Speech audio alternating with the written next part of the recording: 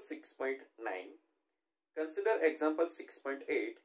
Taking the coefficient of friction mu to be 0.5 and calculate the maximum compressions of the spring. चलो सो so ये example में हमें क्या considerations करना है कि हमारा 6.8 नंबर वाला जो एग्जांपल है, वही डेटा कंसिडरेशंस करना है but another thing is added over here is what mu mu that means what 0.5 जो है, वो हमें कंसिडरेशंस करना है ठीक है? And based on that maximum compression कितना होगा? एक्स की value that we have to find out so in previous example we already discuss about the spring as well as car की बात की थी. But in this case we also have to consider the frictions mu considerations करना है. Mu की value कितनी consideration करनी है? 0.5 ठीक है? चलो सो फॉर दिस वन हम सिंप्लीफिकेशन करते ये कार है कार का डाउनवर्ड डिरेक्शन में क्या लगेगा? एम लगेगा। And as well as exactly opposite उसका क्या है? ये एम जी है तो उसका ऑपोजिट डिरेक्शन में क्या N N that means what normal reaction force ठीक है? दैट मीन्स एन इधर दिखाई शोन किया हुआ है चलो। नाउ कार की डिरेक्शन हमने क्या से डिरेक्शन में कंसिडरेशन किया? ये डिरेक्शन में कंसिडरेशन किया था। तो ये जो है, हमारा क्या है? Compression of the spring and car ये डिरेक्शन में मूव रहे दैट मीन्स ये डिरेक्शन में फोर्स कुछ ना कुछ लगेगा। तो ये स्प्रिंग जो है वो एग्जैक्टली ऑपोजिट डिरेक्शन में फोर्स लगाएगा।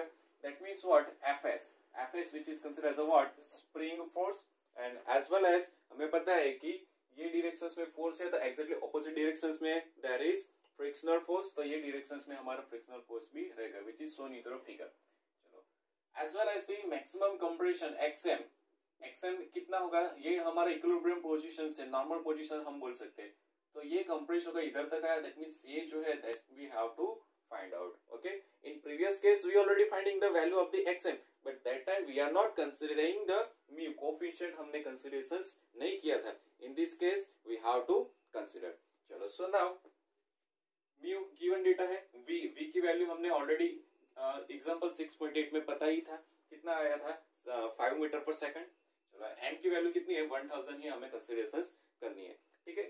है सो नाउ काइनेटिक एनर्जी के बारे में अभी बात करते हैं kinetic energy that will be is equal to what 1 divided by 2 m v square and this is our equation number 1 हमें considerations करना है चलो now kinetic energy which is converted into a potential energy so because of that reasons k final that means final kinetic energy कितनी हो जाएगी zero okay so ये हमारा equation number 2 हो जाएगा okay चलो now as per work energy theorem delta K is equal to what we can say W ठीक है? So delta K that means what K final minus K initial is equal to W okay चलो so दर के final की value हमने क्या consideration की? Zero minus K initial K initial की value क्या है हमने कंसिडरेशन की? One divide by two m v square is equal to double and this is our equation number three okay now work done by the spring force that means ये fs है उसके लिए हमें work done find out करना है तो लिख लेते हैं so work done by spring force spring force कितना है fs है so ws ws that means what work done by the spring force is equal to minus 1 divided by 2 k xm square. And ये जो equation है we already deriving into the theory ठीक है? तो ये इक्वेशन इधर हम लिख देते हैं। This is our equation number 4 चलो now for the work done frictional force की वजह से वर्क डन कितना आता है? That we also have to find out चलो so in that case according to the given configurations यहाँ पे पहला हम लिख देते हैं normal reactions n is equal to हम क्या लिख सकते हैं?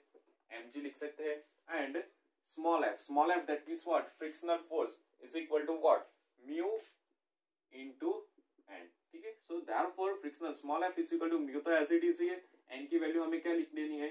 यहाँ पे, n की जगह पे हमें mg पुट करना है। ठीक है? सो ये f हो जाएगा। चलो। But we have to find out what friction force की वजह से जो वर्क डन हो रहा है, वो फाइंड आउट करना है। चलो। सो हमें वर्क का इक्वेशंस पता है। Work is equal to force multiplication of displacement हमें लिखा था। चलो so therefore force force that means यहाँ पे कौन सा फोर्स है? फ्रिक्शनल फोर्स है।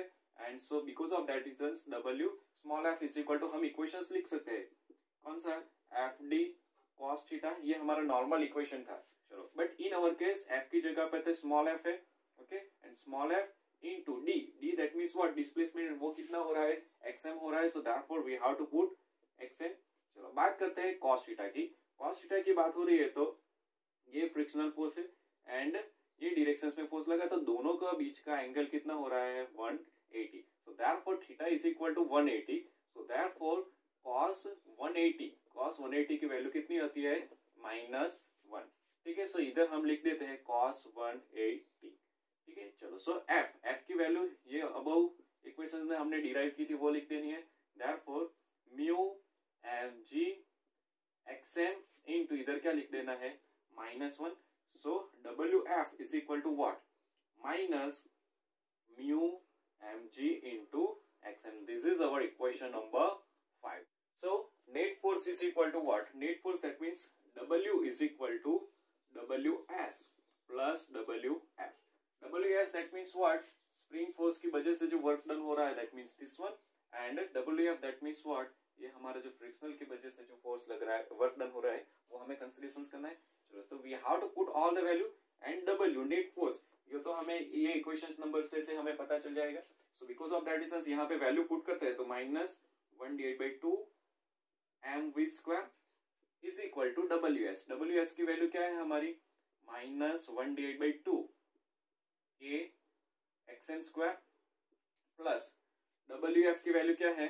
Minus mu m g into x n तो अभी इसका सिंप्लीफिकेशन पहले हम कर देते हैं। So minus one D eight by two m v square is equal to minus one D eight by two K x m square plus minus minus होता है mu m g into x m चलो। So ये x M का जो दो value है, वो is equal to इधर लेके आ जाते हैं। तो क्या हो जाता है?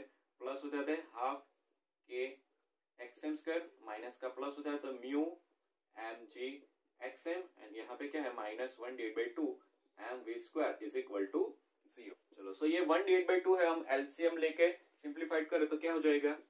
K x m square plus two mu m g x m minus m v square whole D by two आएगा इज़ इक्वल टू ज़ीरो आएगा. इधर क्या आ जाएगा? Two is equal to zero but ये टू एंड ज़ीरो का multiplication करेंगे तो क्या हो जाएगा? ज़ीरो हो जाएगा सो देयरफॉर इसको अभी हम नहीं लिख देते। ठीक है? सो ये हमारा क्वाड्रेटिक इक्वेशन आ गया। ठीक है? Now this is the equation on terms of the what quadratic equation है that means ax square plus bx plus c is equal to zero के टर्म्स में। चलो तो इसको अभी हम कंपेयर कर लेते पहले ही इसको अभी रफ कर लेते हैं हम। तो ये जो इक्वेशन आया, इसको हम इधर लिख लेते हैं। कौन सा इक्वेशन है? k xn square plus two mu m g into x m minus m v square is equal to zero ये जो हमारा इक्वेशन आया है उसको हम A x square plus B x plus C is equal to zero के साथ क्या करना है हमें कंपेयर करना है। सो so, देयरफॉर हमारी वैल्यू मिल जाएगी। ए की वैल्यू क्या है? के है। बी की वैल्यू क्या मिल जाएगी? Two mu m g and value of this C is equal to minus m v square मिल जाएगा। ठीक है? And we already know the equations solutions x is equal to क्या इक्वेशन होता है? Minus B plus minus under of B square minus four A C and whole divide by two A ठीक है? चलो so now we have to put all the value so therefore x की जगह पे तो हमें क्या करना है? Maximum compression so therefore xm हो जाएगा। चलो is equal to minus B B की वैल्यू क्या है? Two mu m g plus और minus under root of B square B की वैल्यू क्या है? हमारी ये कंसिडरेशन करनी है. So two mu m g whole square minus four A की वैल्यू क्या है? हमारी ए की वैल्यू है क्या है? हमारी के है. And as well as C C की वैल्यू क्या है? माइनस एम वी स्क्वायर है. ठीक है? एंड होल डिवाइड में क्या है? हमारा टू एंड ए की वैल्यू क्या है? हमारी के है. ओके नाउ इसका भी सिंप्लीफिकेशन करना है हमें. So that for minus two mu m g plus और माइनस अंडर ऑफ़ क्या हो जाएगा इधर? टू का four mu square m square g square minus minus plus and इधर फोर है ये है एम एंड वी स्क्वायर ठीक है? तो ये फोर को हम कॉमन निकाल लेते हैं एंड होल डेट में टू के तो एज इट इज़ ही रहेगा। So there four minus two mu m g plus और माइनस ये four and four under root के बाहर निकल जाता है देर फोर टू रह जाता है। So only remaining is only what mu square N square g square plus K m v square and whole divide by में टू के हो जाएगा? ओके सो यहाँ पे टू है, ये टू है तो ये कॉमन निकल जाएगा एंड ये टू के साथ कैंसल आउट हो जाएगा तो only remaining is only what minus mu m g plus minus under root of mu square m square g square plus K m v square and whole divide by K ठीक है? चलो now यहाँ पे plus और minus है। So four x m की value plus के लिए हमें इक्वेशंस लिखना है एज वेल एज माइनस के लिए भी लिखना होगा ठीक है लो so there four x m is equal to what minus mu m g plus under root of mu square m square g square plus K m v square whole divide by K okay चलो so value of the x m is equal to what आएगा one one point thirty five meter approximate यानी कि we have to put all the value कौन सी value है? Mu M G ठीक है? As well as the K all the value we have to put and based on that हमारे जो value आएगी एक्सएम की प्लस आएगी। Plus one point thirty five metre आएगी। एंड और हमें for the X M is equal to minus mu M G minus under root of क्या है? Mu square N square G square plus K M V square है and whole divide by में क्या है? हमारा के है। बट यहाँ पे नेगेटिव वैल्यू है। सो सिंप्लीफिकेशन हम करेंगे and putting all the value then value कौन सी आई आएगी नेगेटिव वैल्यू आएगी। And for the maximum compression we don't have to consider the negative value. So therefore our final answer is what? xm is equal to plus 1.35 meter